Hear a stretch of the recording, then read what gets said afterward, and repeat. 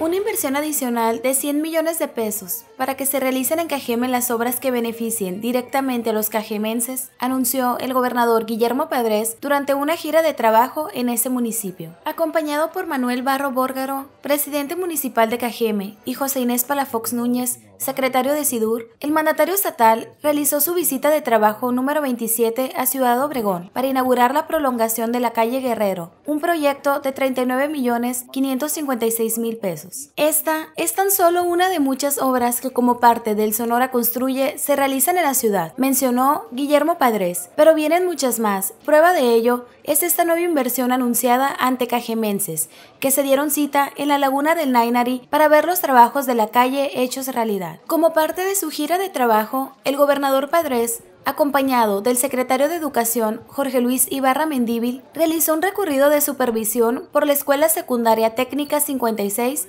José Luis Osuna Villa, en la colonia Miravalle. Este plantel fue uno de los primeros que formó parte de la transformación educativa y con una inversión de 3.8 millones de pesos fue remodelado en aulas, baños, bebederos, oficinas, laboratorios, áreas verdes y todas las instalaciones en general. Quiero reiterarles a todos los aquí presentes que para mí es muy importante que lo de, que decimos, lo que nos comprometemos, lo cumplimos.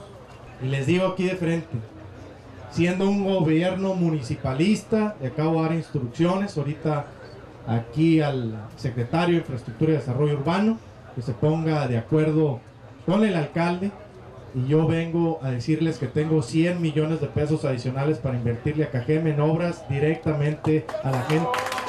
vamos a ver qué nos propone el alcalde en beneficio de los ciudadanos.